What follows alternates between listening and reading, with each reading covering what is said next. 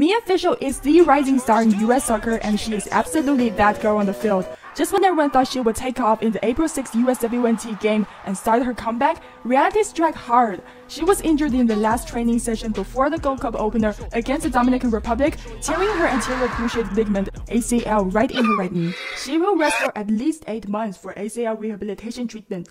This will help professional athletes like her to recover better and faster. Professional athletes often undergo physical therapy, cold compression, and wearing knee braces to correct their imbalance issues for better recovery. However, this also means that she will miss the 2024 Paris Olympics. With such a huge challenge, we believe Mia will not give up and will overcome this with strength and optimism returning to the field. Mia said, I've always said I want to be the best soccer player, and that's not going to happen if I'm comfortable and doing things that are easy.